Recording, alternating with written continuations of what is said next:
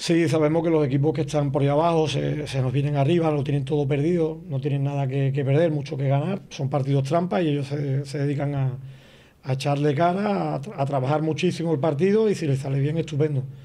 El domingo un partido también difícil donde vamos a Jerez y bueno, a intentar sacar los tres puntos como siempre.